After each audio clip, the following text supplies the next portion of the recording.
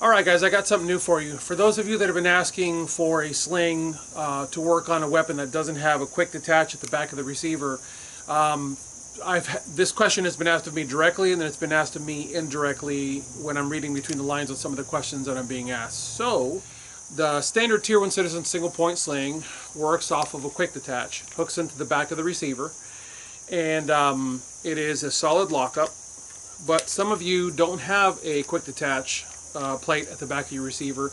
And you're also dealing with a, and actually yeah this one's staked, you're dealing with a weapon that has been staked very solidly. Um, some of the mil-spec weapons out there actually come with double staking so you're going to have one heck of a time taking those apart. And trust me I've tried. Um, I mean you're talking a blowtorch and you're probably going to wreck something in the process. So for those of you that don't have the quick detach plate watch. You slide it underneath the buffer tube pass the sling back through the cord. When you get to here, slide this forward and then crank on it. This is a loop of paracord that's actually been stitched with the same stitching that I use here. It's been stitched to itself, meaning it's been stitched like this to itself in a loop. So it's not stitched to the sling, it's actually free floating inside the sling, so it's never going to come loose. And this section right here on the tube has a very slight step down on most AR-15 buffer tubes. So your sling now has the ability when the weapon is, when you're actually using the weapon, the load goes this way. And you notice it didn't slide back. And it gives you the ability to rack your charging handle and go right past the paracord. So there's, there's no contact issue there. Uh, trust me guys, I laid in bed thinking about this last night and it hit me that there actually would be enough clearance there. It's locked, but here's the really cool thing. It's full ambi.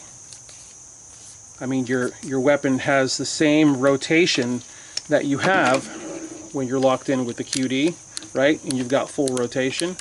Well, now you have full rotation with the paracord sling. So there you go, guys. Now you've got all the functionality of the Tier 1 Citizen single point sling. It's fully ambi.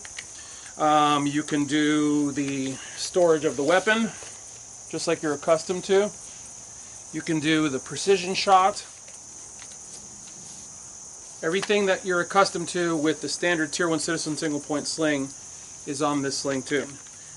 Charging handle goes right by it. You don't even can't even tell that it's there. But if you've got a weapon where you can't get that back plate off, you don't want to get that back plate off, you don't want to risk damaging your gun. And guys, unless you know what you're doing, unless you have the tooling that I do to take these guns apart, you're going to jack things up trying to, trying to get these things off. Not once, but several times over the last several weeks I've been repeatedly asked uh, if I sell the quick detach plate that goes with it and do I do the service. Well guys, I don't take guns in because it is too easy to ruin a gun trying to get that back plate off. So, that's why I made this sling for you guys so you can immediately just drop a sling on that gun. If you guys have any questions, leave them for me below. I'll do my best to answer them. As always, I thank you guys for watching. God bless you all. Get those guns out and practice. Have a good one.